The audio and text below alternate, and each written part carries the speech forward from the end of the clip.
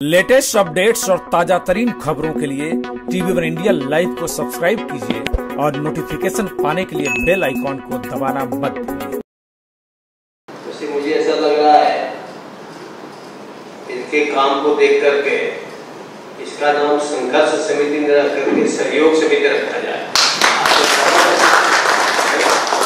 तो, तो पनवेल संघर्ष समिति के द्वारा आयोजित। आज के इस कोविड संजीवनी पुरस्कार से सम्मान के अवसर पर हमारे मध्य में पद्मश्री श्रीमान डॉक्टर सत्या साहब लानी जी हमारे मध्य में हमारे कमिश्नर गणेश देशमुख जी, डॉक्टर देशमुख जी और अधिकारीगण और अनेक गुरुओं का आशीर्वाद प्राप्त है।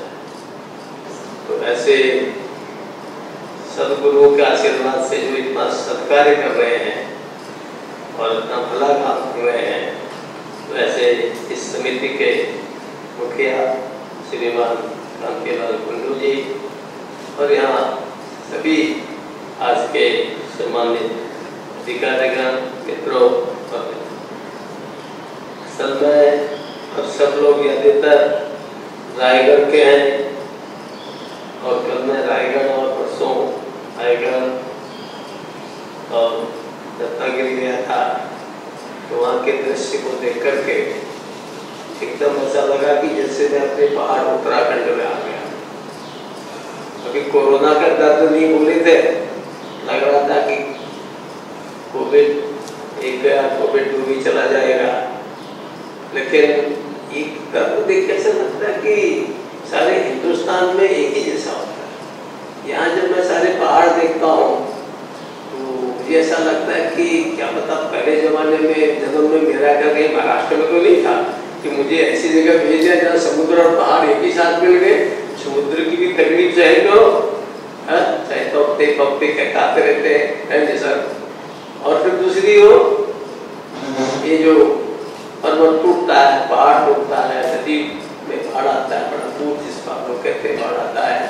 उसका कितना नुकसान होता है?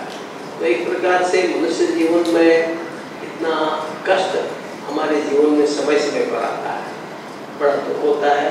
अरे तो मैं कोरोना के जो भी शहीद हुए जो उसके शिकार हुए, या इस घटना में जो शहीद हो गए, जिन्होंने अपना जीवन को या उनको श्रद्धांजलि अर्पित करता हूँ और आप सब लोगों को जिनका आज हमारे कांतिलाल जी ने उनकी कमेटी ने और विशेष करके इन्होंने कहा कि हमारी धर्म पत्नी हमारी अर्धांगिनी क्या नाम है? रूपा। तो रूपा जी ने इनका हाथ बटाया। मुझे उनको भी अभिनंदन करता हूँ कि इतना पुण्य कार्य कर रहे हैं, क्योंकि जोड़ने वाले भी बहुत कम होते हैं। चीज़ें सब जगह है, मोती बिखरी रहती है, लेकिन उनको इकट्ठा करके माला बनाना और माला बनकर के गले में डलवाना, ये बड़ा काम है। तो वैसे इन दोनों को मैं इनका पहले अभिनंदन करता हूँ और आप सब लोगों का अपने हृदय के से बहुत अभिनंदन करता हूँ और ईश्वर से प्रार्थना करता हूँ कि आप सब लोगों को और शक्ति दे और इस प्रकार की ताकत दे कि आप हमारे समाज के लिए क्योंकि तो कष्ट आते रहेंगे। ये कष्टों का कोई अंत नहीं है। मैं जब से यहाँ आया तो बारिश ही बारिश थी जब मैंने चार्ज लिया। तो मुझे लगा कि शायद अब मैं यहाँ आ गया हूँ तो अब दुष्काल खत्म हो जाएगा, क्योंकि तो महाराष्ट्र का दुष्काल बड़ा प्रसिद्ध है। अब इन दो सालों में दुष्काल तो नहीं आया। पर पानी इतना अधिक आ गया कि वो कुछ साल से भी ज़्यादा भयंकर हो गया। तो ये चीज़ें प्रकृति की जो ऐसी मार है ये मनुष्य की परीक्षा देती है।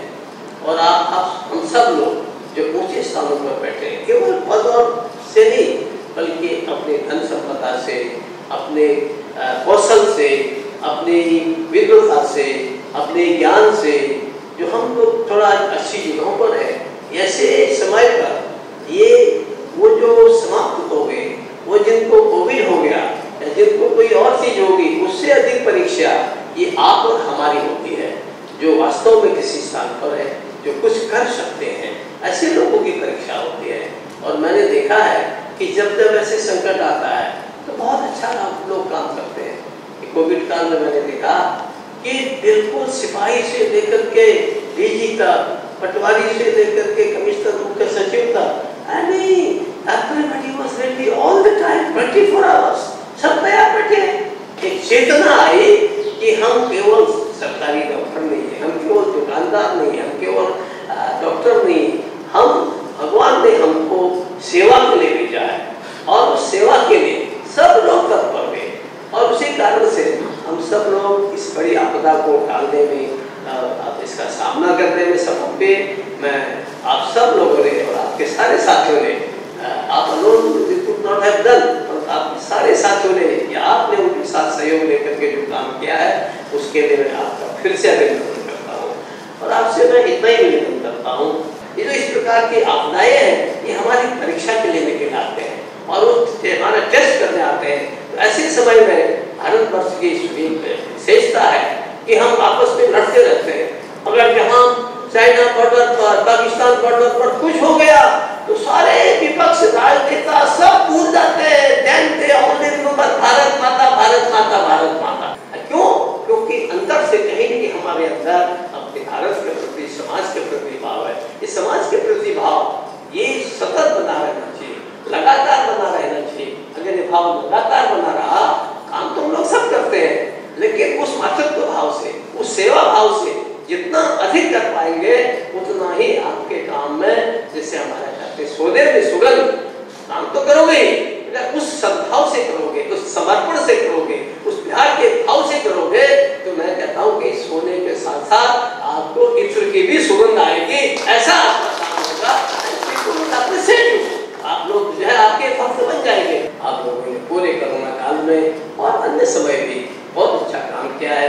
मैं आप सब लोगों का अभिनंदन करता हूँ, प्रभु से प्रार्थना करता हूँ। ऐसी शक्ति दें कि भविष्य में और आपसे अच्छे काम कराएँ। आपका सम्मान आज इस राजभवन में हुआ है। जैसे इनको पद्मश्री मिला है, हमारे डॉक्टर रहने को को ऐसे आप सब लोगों को भी आज राजभवन में तो एक दिन आपको राष्ट्रभवन में राष्ट्रपति भवन में